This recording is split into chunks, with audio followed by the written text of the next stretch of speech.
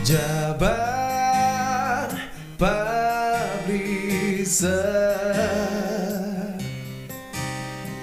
Jendela info. Halo pemirsa JPNX TV dan pembaca setia Jabar Publisher.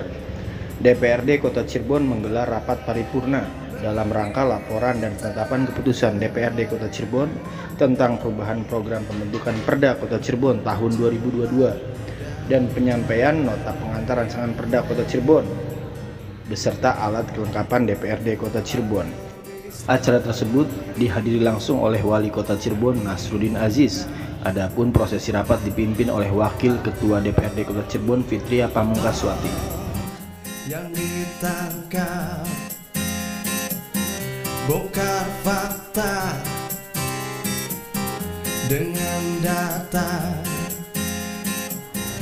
Demikian Ruswa Diputra, reporter JPNX TV dan Jabar Publisher.com melaporkan.